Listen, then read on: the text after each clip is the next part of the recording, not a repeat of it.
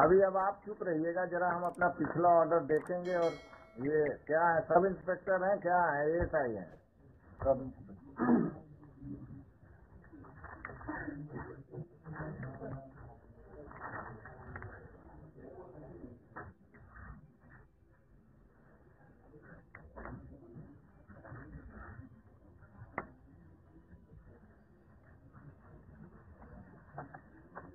क्या नाम है आपका? कुमार यादव। कुमार यादव। कहाँ तक पढ़े हैं? मैट्रिक की नॉन मैट्रिक? पास कर गए हैं? पढ़कर पास किए थे। अंग्रेज़ी पढ़ना जानते हैं? कम जानते। कम जानते पढ़कर बताइए। पढ़ाइए। पढ़िए। Mister Khan My lord, how will he be able to honor the order of the High Court if he cannot comprehend it, if he cannot read it? He should be given a translated copy of the order by the petitioner or by the state. नहीं नहीं he can always आपको जब ये order देने गए तो आपने कहा कि जब हाई कोर्ट से ऑर्डर डायरेक्ट हमको आएगा तब हम इस पर संज्ञान लेंगे इसका क्या कहा आपने ये झूठ बोल रहे हैं। आपने कहा कब मिलने गए थे आपसे ये ऑर्डर लेकर इनके क्लाइंट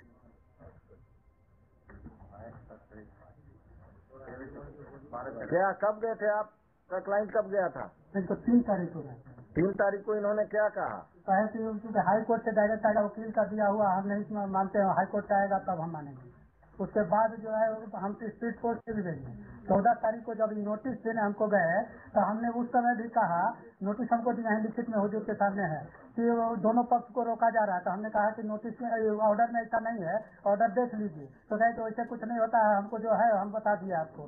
फिर कल गए हैं, कल हुजूर के यहाँ यहाँ कर रहे थे तो कल मॉडिफाइड एक नोटिफिकेशन लेके नोटिस करके फिर गए हैं। और मेरे भाई से, petitioner के भाई से सिग्नेचर करा लिए हैं, बिना डेट का डेट नहीं देने दिए। कहे कि इसको ले लीजिए अठारह से डेट में।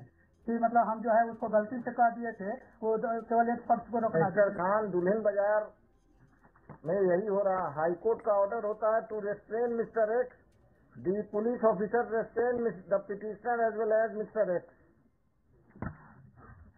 so for that my lord I am absolutely speechless.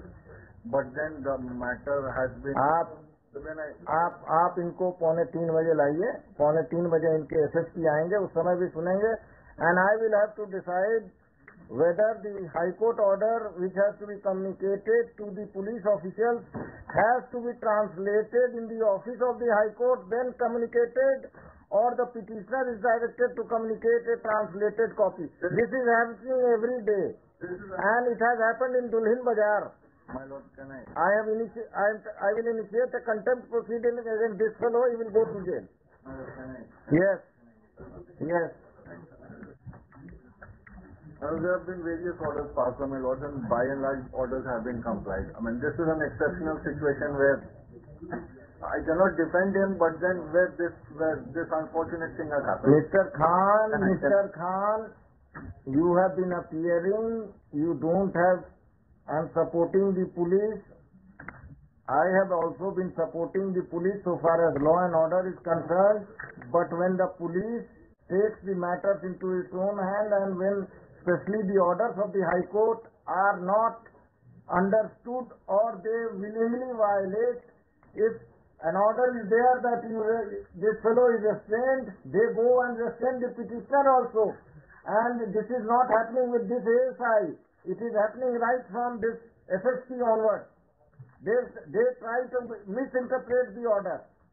They try to misinterpret the order to help persons with muscle power, persons with political backing, persons who are uh, connected with a political party or with few political parties who are in power. This is happening and in Patna district this is happening, especially Dulhin Bazar police station it is happening. I will direct the SP to change every police officer from transfer police officer of Dulan Bazar police station, or I will initiate contempt against them. Tell him to come at three two forty five. He will be here. Yes, he will be here. I will take the, this up. This case has to Just, just, just, just one or two submissions for my lord's time. two two forty five.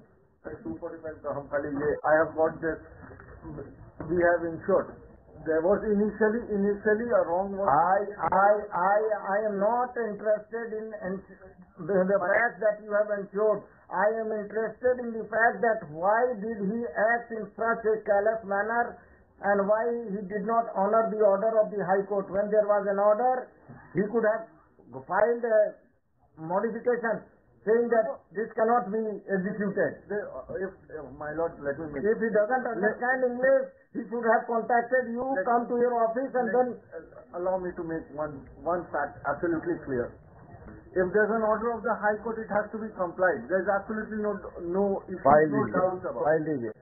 There's no issues. Uh, the moment the matter was mentioned and when I talked to them, my Lord, I've explained to them this is what you have done, you should not have done.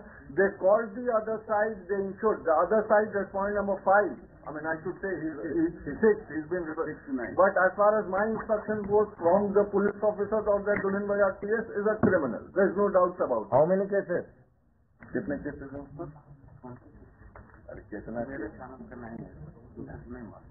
तो criminal कैसे हो गया? नहीं नहीं है उस पर cases आप पर कितना केस है? सिक्स टू नाइन इन पर? नहीं नहीं मेरे ऊपर। हाँ। सिक्स जो रेस्पोंडेंट है प्राइवेट रेस्पोंडेंट उनके ऊपर इमीडिएट एक केस हुआ है इसके पहले। किस सेक्शन का? थ्री हंड्रेड टू का है क्या नाम है आपका? Nitish Kumar.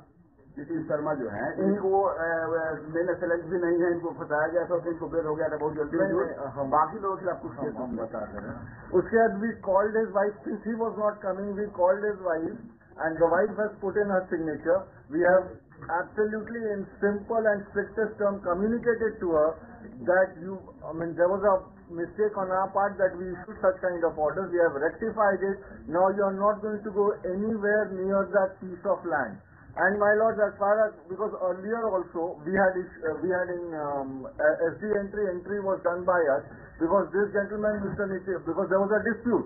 So when the police went to that place of dispute, the occurrence, the field, this Nitesh Kumar, the respondent, he created a hell lot of scene out there, abused the Mr. police. Mr. So I mean ऐसा नहीं है कि क्यों नहीं arrest करते हैं अगर police के सामने सीन क्रिएट करता है तो 353 किसके लिए है आईपीसी अब आप चुप रहिएगा पांडे जी। अभी हम सरकारी वकील से बात कर रहे हैं। ये 353 कब के लिए रखते हैं? जुलूस का जो वायलेशन करता है उसी के लिए। 353 का यूज़ कब करेंगे आईपीसी का? जब आप पर कोई, आप किसी लॉ एंड ऑर्डर के सिचुएशन में गए और नीतीश शर्मा ने आप के साथ बदतमीजी किया या कुछ किया तो आप लोगों ने उस पर कौन सा मुकदमा दर्ज किया? किया कोई काम? सनहा दर्ज किए। केस दर्ज करना मना है। सनहा से क्या होता है? क्रिमिनल है तो उसको अरेस्ट करके अंदर कीजिए। थ्री हंड्रेड टू में बेल हो गया तो वो क्राइम करते रहेगा।